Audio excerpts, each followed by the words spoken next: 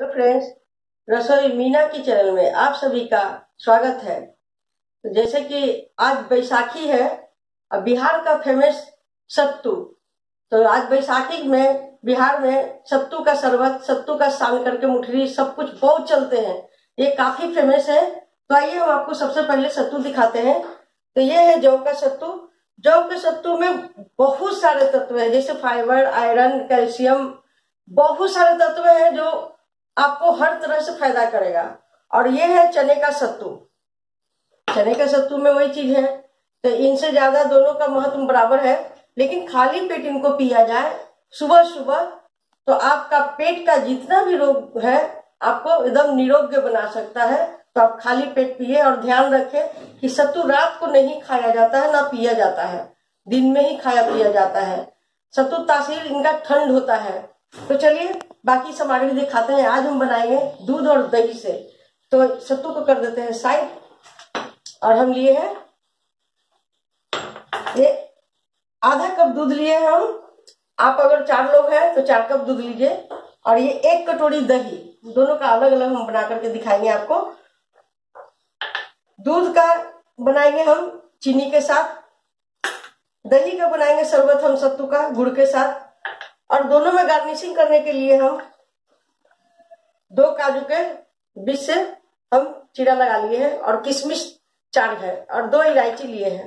तो दही में इलायची हम नहीं डालेंगे, दूध में डालेंगे। इलायची का छिलका उतार लेते हैं, दही का शरबत हम शुरू करते हैं, दूध के पहले बनाएँगे और दही का बाद में बनाएँगे। तो चलिए दूध ले ले रहे हैं और चीनी। चीनी मिठास के अनुसार लीजिए। आप जितना मीठा पसंद करते हैं, उतना ले सकते हैं। और इन्हीं में हम डाल देंगे इलायची जो छील करके। इस तरह से हम छील ले रहे। हैं छिलका उतार लिए हैं इनका। तो इस तरह से हम, और जौ का सत्तू हम लेंगे इनमें। एक चम्मच और एक चम्मच हम लेंगे चने का सत्तू दोनों का मिश्रण बराबर। अब हम इनको शरबत बना लेते हैं मिक्सी में। आप चाहे तो किसी पतीले में भी बना सकते हैं। मही से घट करके तो हम इनमें बना ले रहे हैं अच्छे से।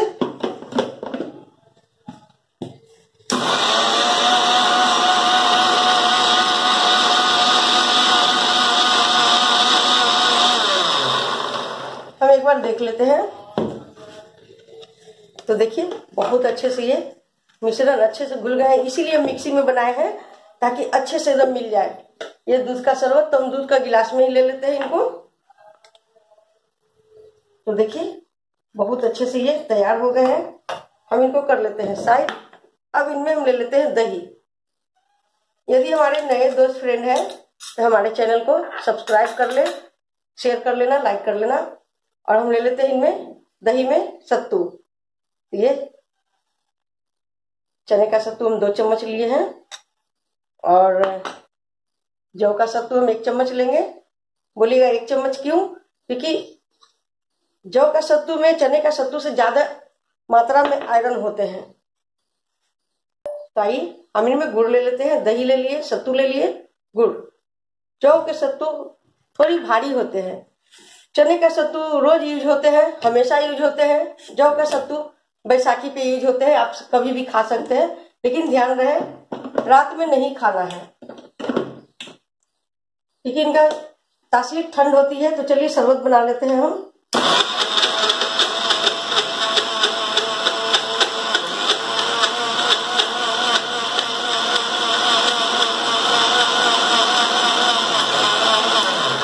देख लेते हैं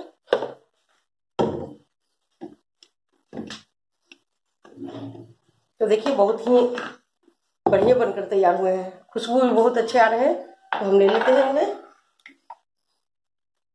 इनके आगे रोटी, चावल, दाल सभी फेल है, थोड़ा और ले लेते हैं।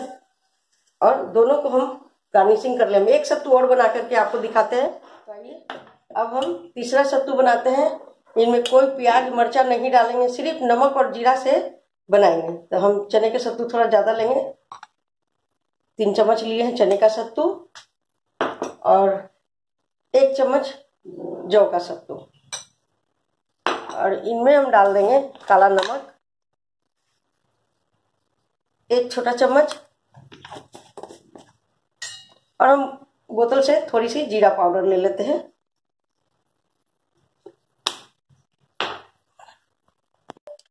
और सफ़ेद नमक, आधा छोटा चम्मच और एक नींबू काट करके हम आधा नींबू का जूस ले लिए हैं। बहुत लोग को पसंद नहीं होते हैं कि हम मसालेदार या दही और दूध का पिए तो उनके लिए हम सादे बना दे रहे हैं। तो इस तरह से बनाए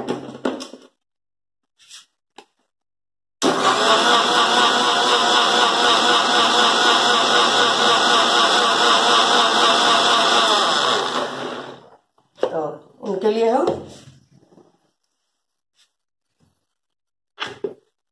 देख लीजिए। ये नमक वाले सत्तू सत्तू का शरबत हम बना लिए हैं। तो बैसाखी में इस तरह से ही बिहार का लोग, ये नमक वाले हैं, बिहार का लोग फ़ेमस सत्तू है। तो इस तरह से आज के दिन हम लोग हम लोग सभी बिहारवासी सत्तू का शरबत तो एक काजू दूध में डाल देते हैं। एक गुड़ वाले में है, थोड़ी सी काजू किशमिश और डाल देते हैं और गार्निशिंग कर लिए। अब नमक, थोड़ी सी यहाँ पे जौ के सत्तू, इस तरह से थोड़ी सी चने की सत्तू।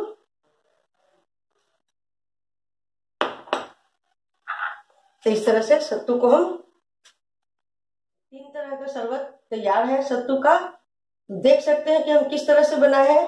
एक दूध का, एक दही का। गार्निशिंग किए हैं काजू और किशमिश से। ये नमक, इनमें ना मिर्चा है, ना प्याज है। बिल्कुल सादा है सत्तू। तो इस तरह से आप लोग भी बनाए और बैसाखी का ढेरों सारे शुभकामनाएँ आप लोगों के साथ। तो कैसा लगा हमारा ये सत्तू का रेसिपी शरबत? तो कमेंट करके ज़रूर बताएँ। और हमारे नए दोस्त फ्रेंड है तो सब्सक्राइब करें शेयर करें लाइक करें। पुराने दोस्त फ्रेंड है हमारे। तो शेयर लाइक करना ना भूले शेयर लाइक करें। बेल आइकन ज़रूर प्रेस कीजिएगा ताकि आने वाली नोटिफिकेशन सबसे पहले आपको मिले और ढेर सारी शुभकामनाएँ। तो चलिए मिलते हैं एक नए वीडियो में। तब तक के लिए थैंक यू